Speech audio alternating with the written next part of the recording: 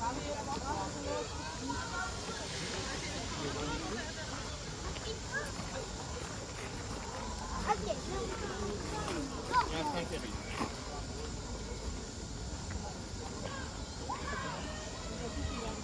y a encore de la Oui,